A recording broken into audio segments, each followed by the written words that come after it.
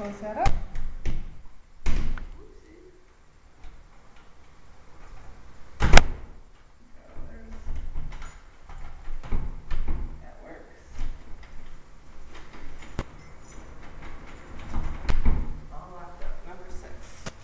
Okay, out this way is the garages.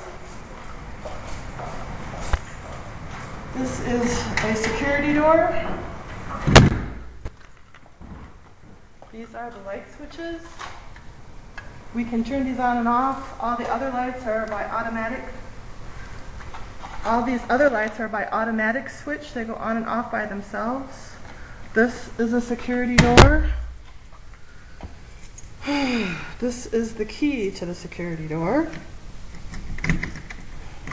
It's kind of rough. Yeah, but it opens. Sometimes it opens. It's a little rough. Um, there used to be a top here. There's a problem here on the floor where the floor is heating up. They've, um, you can hear it. It has a tendency to stick. And if you open it wide, it'll stay open on its own without any help whatsoever. So, and a lot of people do that. This is um, the neighbor's uh, area. If you look at the floor, there are oil stains on the floor underneath the car. Can you see that? Mm-hmm. And you can see, um, and if you just come over here, you can see how I can press this button. And the door opens. I can press this door.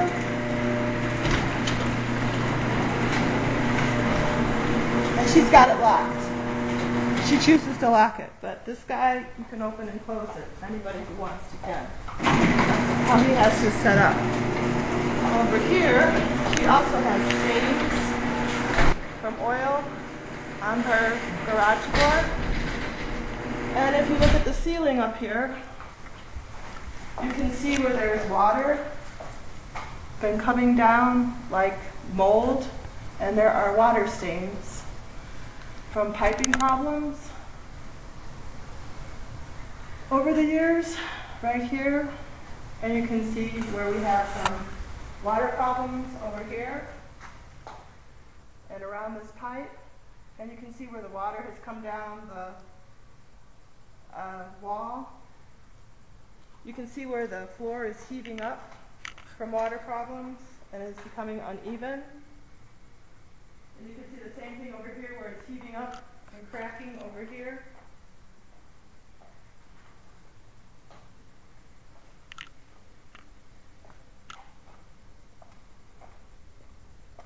These are garage bays 10 and 9, which belong to the owner.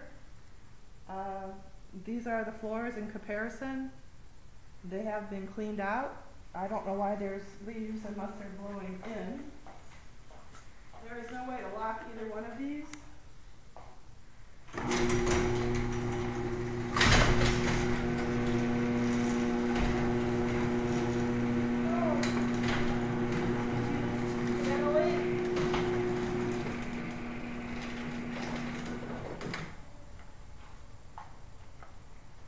Oh. You can see that there is water damage up here by this, here, coming from the ceiling. There is water damage coming from the ceiling up here. This is a ventilation duct. It runs from here to here for ventilation that was put in by the secretary of the board of the directors with just permission of the president for her uh, dryer vent because she was having ventilation problems. Uh, it starts here at the ceiling and runs across garage bay 9 and 10 and out that wall because it was impossible for her to run her dryer without it. So that was an accommodation that was given to her as the secretary of the board. Uh, this is the water, shared water uh, source. Uh, this was a leak. This was an accommodation that was given to the secretary of the board of directors. Uh, it's a handle that is easier for a handicapped person to use. Okay. Over here is a wall. Uh, we have a lot of cracks in this wall, but the wall is dry. Um, I've come down here after we've had, this is the end of Hurricane Sandy, and I can see some water accumulating here on the floor here and here where it's wet, but basically the wall is still dry, even though uh, it's October 31st, 2012, and you can see that it's raining, that the water is thick on the ground, and the water has been here for over a week now. You can see the water is just pooling and has been pooling and it's, it's not going anywhere. And we'll show you more water outside. But the condition, if you look up at the, uh, you can see the bright white, uh, those marks were on that garage door when we got it. That's from the workers putting their dirty hands after they use grease on the chain, I assume, I'm not sure. And the same thing on this garage door here. These, uh, this was uh, fixed, in the beginning a new one was put in, I believe, and the chain was fixed. They had to put a new garage door opener in when I moved in. The chain is too long and it leaves a mark on the outside of the door. You can see somebody's handprints up there, dirty handprints. Uh, same thing over here, you can see dirty handprints over here from when they uh, put it in. That's why there's dirty handprints all over this uh, particular door. They've been scrubbed down uh, to the best of our ability. So that's it for the garage. Over here you can see how the heaving up is really happening here and how it's very uneven. The water pools against this wall when you use it. You can see how uneven just by looking at the car and how the, the garbage tilts against the wall. And we have another big crack over here, and it's letting a lot of, um, you can see how these leaves are coming in underneath the door since this has been swept out. And uh, this has been closed for quite some time, we thought, unless somebody opened it. Here are all the garage door openers. I have three of them. And we'll show you how each one of them works. This one goes up, this one goes down. So I press this, door goes down. Press this, door goes up. This one, the door goes down. This one goes up. This particular has a lock and a light, so it's possible using this button to lock this particular door as the tenant of number, garage bay number seven is able to lock that door so no one can open or close that door at any time while she is away or while she is at home. The, when this door, this was replaced by the electrician and uh, by the owner and they only put in this button. They did not put in something that was secure. So this, anyone could come in and press this up, press this down, and as you can see with this particular garage door opener, there is no way to lock it. So again, anyone could open and close this door at any time. The only way to stop it from opening would be to unplug it. Which anybody could do, and anybody could plug it back in. The way to open these and close these doors at any time is by using the release mechanism, which still works. And anybody can do this make it a manual door.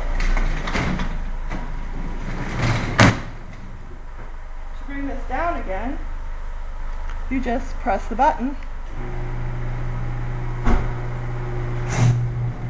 And eventually, it goes all the way around. catches, and it itself.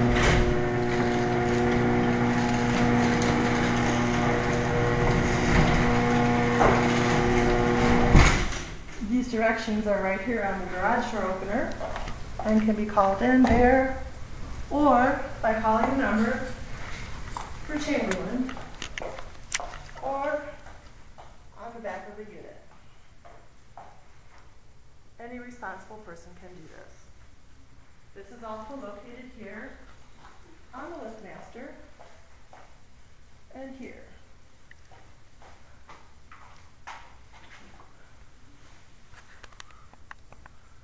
And here on the garage door.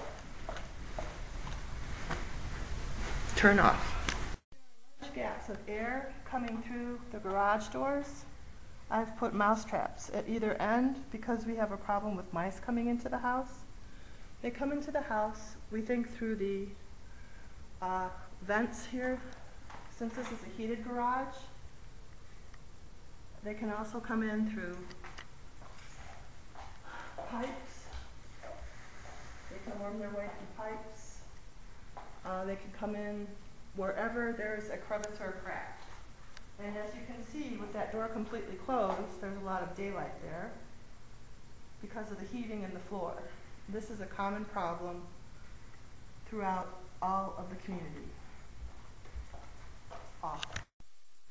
The garage door openers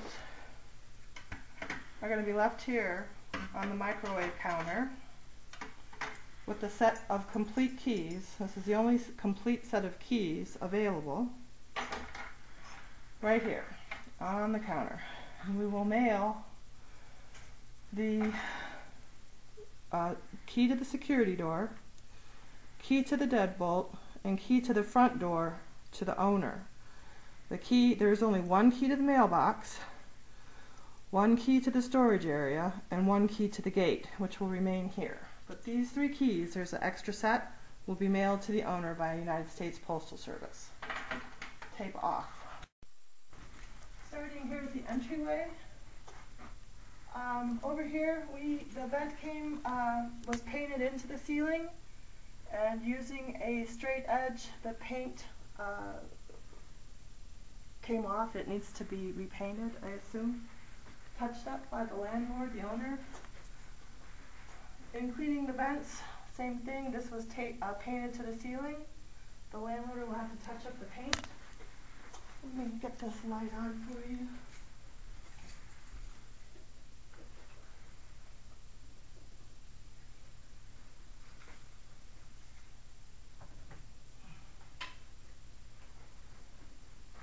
Alrighty, let's see.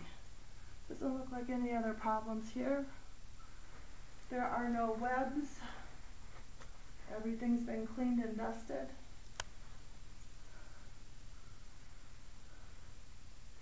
Ceilings are clean. There's just that problem where we had to clean the vents.